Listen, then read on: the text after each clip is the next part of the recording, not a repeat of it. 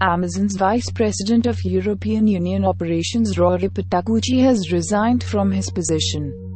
The reason behind Perticucci's departure hasn't been revealed by Amazon. Previously, the company had temporarily shut its French warehouses after a court ordered Amazon to limit its deliveries to only essential items in France and ensure safety measures against COVID 19 for its workers.